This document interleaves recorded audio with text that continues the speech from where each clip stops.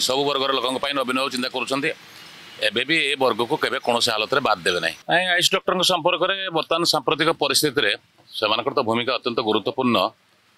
ପ୍ରାୟ ସରକାର ବିଭିନ୍ନ ବର୍ଗର ଲୋକଙ୍କ କଥା ବିଚାର କରୁଛନ୍ତି। ଏଭଳି ଏକ ପରିସ୍ଥିତିରେ ମୋର ଯେତିକି ବିଶ୍ୱାସ ଅଛି ସରକାର ଏ ବାବଦରେ ନିଶ୍ଚିନ୍ତ ଭାବରେ ବିଚାର କରୁଥିବେ। ହଣ୍ଡ୍ରେଡ଼ ପରସେଣ୍ଟ ଆୟୁଷ ଡକ୍ଟରଙ୍କୁ ପ୍ରାଧାନ୍ୟ ଦେଇକିରି ବର୍ତ୍ତମାନ ସାମ୍ପ୍ରତିକ ଅବସ୍ଥାରେ ତାଙ୍କର ସହଯୋଗ ନେଇ ଏବଂ ସମଗ୍ର ଓଡ଼ିଶାର ଲୋକଙ୍କର ସ୍ୱାସ୍ଥ୍ୟ ସୁରକ୍ଷା ପାଇଁ ବିଚାର କରିକିରି ତାଙ୍କ କଥା ହଁ ନିଶ୍ଚିନ୍ତ ଭାବରେ ବିଚାର କରିବେ। ମୋର ଯାହା ଅନୁମାନ ହେଉଛି ସବୁ ବର୍ଗର ଲୋକଙ୍କ ପାଇଁ ନବୀନ ବାବୁ ଚିନ୍ତା କରୁଛନ୍ତି। ଏବେ ବି ଏ ବର୍ଗକୁ କେବେ କୌଣସି ହାଲତରେ ବାଦ ଦେବେ ନାହିଁ କାରଣ ସେମାନଙ୍କୁ କରୋନା ଯୋଦ୍ଧା ବୋଲି ଅତୀତରେ ସେମାନେ ଅଭିହିତ କରିଛନ୍ତି।